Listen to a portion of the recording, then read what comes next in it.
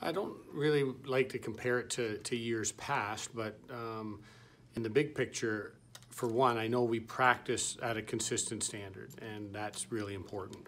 Um, the games, I can I could justify or rationalize or give the reasons that um, might look like inconsistency, but our mindset hasn't wavered, and that's to me really really important um, the experiences that we've gained, whether the uniqueness of six days between UConn games.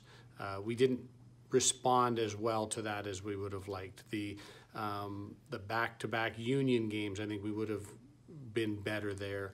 But in talking with the guys about them, they understand. And now, if we have any situations like that, we want to come out on the right on the right side of things. It seems like overall the scoring chances or the you know the ability to score goals is up and and the you know limiting the other team's scoring chances is down across the board. Is that something that you guys have seen throughout statistics, or is that something just an eye test there?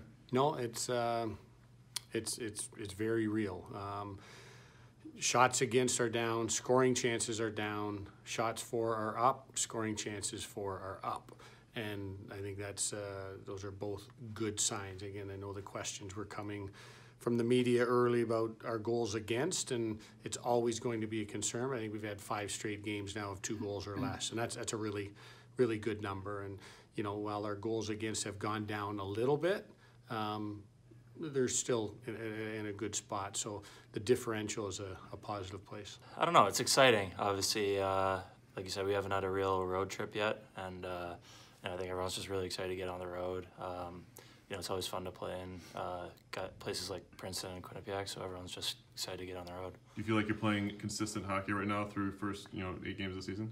Um, I guess you could say that. Uh, we kind of look at the other way. We haven't we've split every weekend, and uh, for us that's that's not good enough. Um, we need to find a way to be more consistent uh, from game to game on, on the weekend. But uh, we feel like we have been playing some good hockey, and we feel like we're gonna get there.